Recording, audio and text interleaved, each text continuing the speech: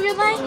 当一个小一的妈妈压力这么大。很常因为写功课的事情，我会发飙生气，非常就是大爆炸，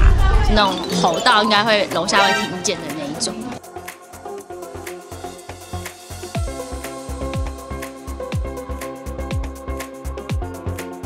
他下课时间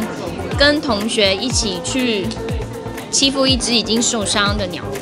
我在跟他讨论这件事情的时候，我会想很多，就是怎么样会让他不会觉得我只是要骂他，因为我还是比较想知道会发生这件事情的原因是什么。我不喜欢都用责骂的方式，而不告诉他那个背后的原因是什么。我还是想先了解他的，他他他会做这件事情是因为什么？我就担心他不快乐，最担心的是他发生了什么事情回来不愿意跟我说。所以在沟通上面，其实我会我会比较小心，嗯我要小心的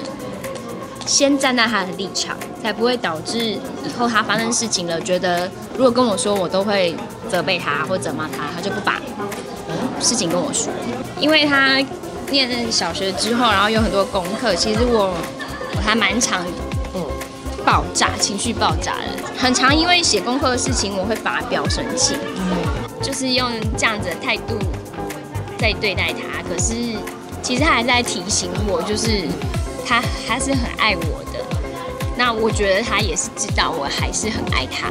对，只是我们都还没有适应，他还没有适应国小的生活啊，我也还没有适应当一个国小新生的妈妈。对，我不知道原来小一的妈妈压力这么大。没有了，就是我儿子。我其实算是脾气很好的人，但是就是我自己也吓一跳，我自己也吓一跳，就是我儿子长那么大，他们都觉得我对他太好了，但是我我真的就是这三个月非常就是大爆炸，那种吼到应该会楼下会听见的那一种，我很生气，对啊，